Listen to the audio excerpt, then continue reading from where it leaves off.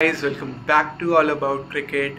So here we are with our first international match review that is played between united arab emirates and new zealand.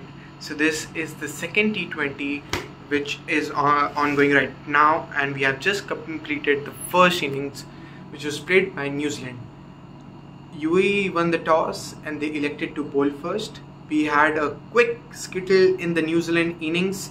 However, the uh, inning of Mark Chapman, Chapman uh, managed to get them a good total. So here we goes. So Bowes and Tim Seifert opened the innings in which Tim Seifert scored 7 and he got out early along with Bowes who played a slow inning of 21 runs.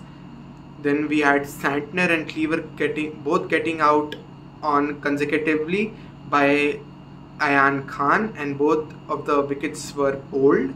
Then we had a Mark Chapman inning of 63 runs of 46 balls of 3 sixes and 3 fours playing with a strike rate of 136.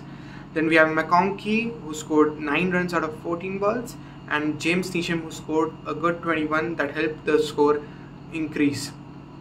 Then we had Rachin Ravindra who scored 2 runs, Jamieson and Southee scoring 8 and 4.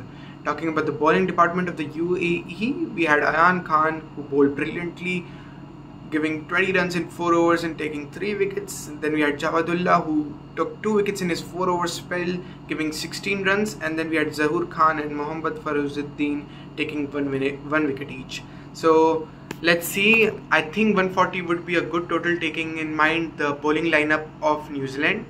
However, anything can happen. So let's watch the second inning and we'll be with the review of the second inning very soon. Thanks for watching.